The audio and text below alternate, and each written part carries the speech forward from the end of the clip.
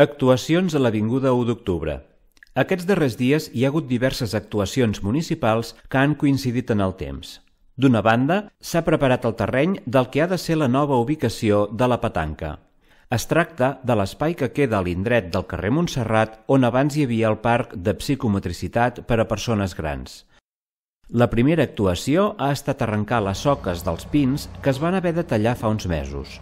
Recordem que a causa de les fortes pluges un pi es va tombar i dos més amenaçaven de seguir la mateixa sort. El nou espai de la petanca serà més accessible i avinent i s'espera que també més propens a la socialització.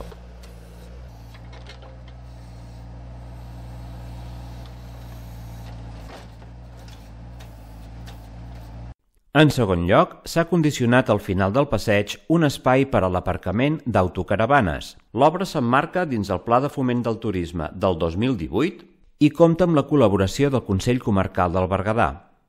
El projecte, presentat fa un any i mig, respon al creixement actual d'aquesta forma de turisme que no s'assimila al càmping.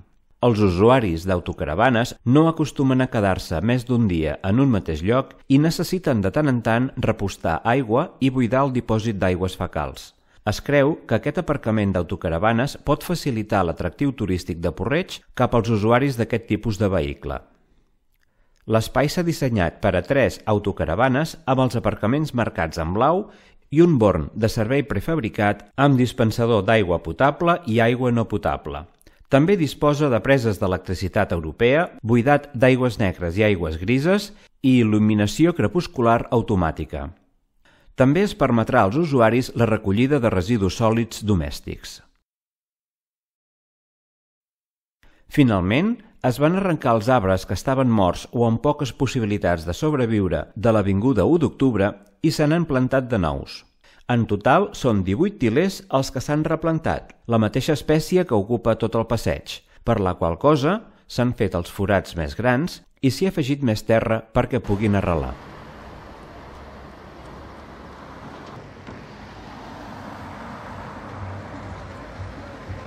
You.